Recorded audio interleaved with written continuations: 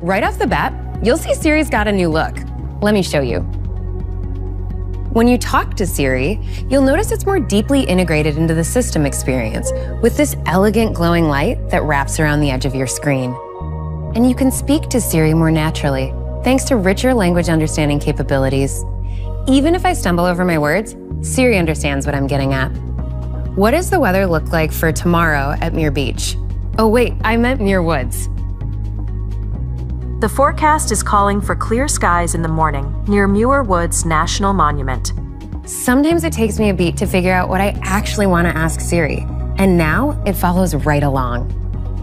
Siri also maintains conversational context, so I can follow up and say, create an event for a hike there tomorrow at 9 a.m. Hike is scheduled for 9 a.m. to 11 a.m. on June 11th. I didn't have to mention Muir Woods again. Siri understood what I meant when I said there. There are also certain times when you might not want to speak to Siri out loud.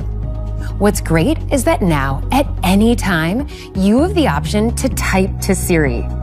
With just a double tap at the bottom of the screen, I can quickly and quietly ask Siri to set an alarm. And you can switch between text and voice, communicating in whatever way feels right for the moment. We're also laying the groundwork for some brand new ways that Siri will be able to support you. One of which is its extensive product knowledge. Siri now holds a great deal of information about features and settings and can answer thousands of questions when you want to know how to do something on your iPhone, iPad, or Mac. Even if you don't know exactly what a feature is called, you can just describe it, and Siri will find the info you're looking for. Like this How can I write a message now and have it be delivered tomorrow? Siri understood what feature I was referring to, and now I have step by step guidance on how to use the new Send Later feature in Messages. Everything I've showed you so far will be available from the moment you start using Apple Intelligence. And over the course of the next year, we'll be rolling out more features that make Siri even more personal and capable. Imagine that I'm planning to pick my mom up from the airport and I'm trying to figure out my timing. Siri is going to be able to help me do this so easily. Siri, when is my mom's flight landing? What's awesome is that Siri actually cross references flight details that my mom shared with me by email with real time flight tracking to give me her up to date arrival time. What's our lunch plan?